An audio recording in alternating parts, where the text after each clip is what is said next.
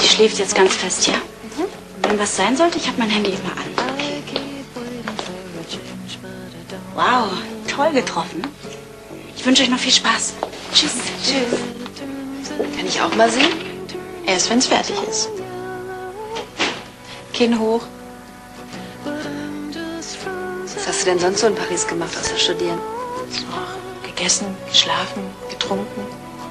Und die Jungs? Dafür hatte ich natürlich überhaupt gar keine Zeit.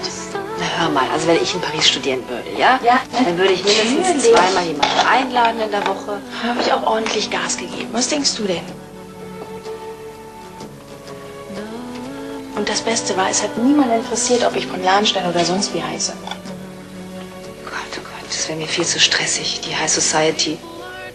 Ich möchte nicht mit dir tauschen. Da gehörst du aber zur Minderheit. Die meisten Frauen, die ich kenne, die würden sonst was dafür geben, mal über den roten Teppich zu laufen. Ach, weiß, der Rot ist sowieso nicht meine Farbe.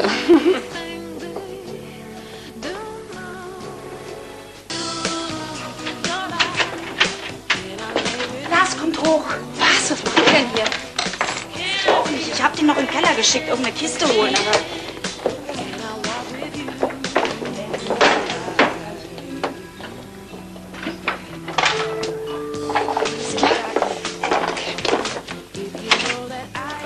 mein Schatz. Grüß dich. Oh. Tut mir leid, habe ich Sie aufgeweckt? Nein, ist kein Problem. Es wäre jetzt eh Ihre Zeit gewesen. Ja, ich muss dann wirklich los. Kennen wir uns nicht irgendwoher? Nenn das auf, Lars. Das ist Carla, eine alte Freundin von mir, die lange im Ausland war. Wo denn? USA? Tut mir leid, ich bin Lars. Hallo. Sorry, ich habe gar keine Zeit mehr. Ich muss jetzt los. Ja? Vielleicht ein anderes Mal. Okay, Hanna, ich melde mich bei dir. Ja. Ciao.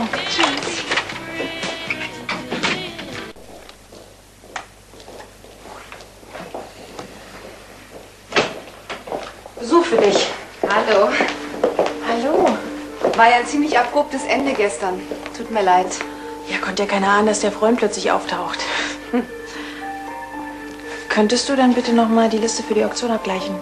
Aber klar doch.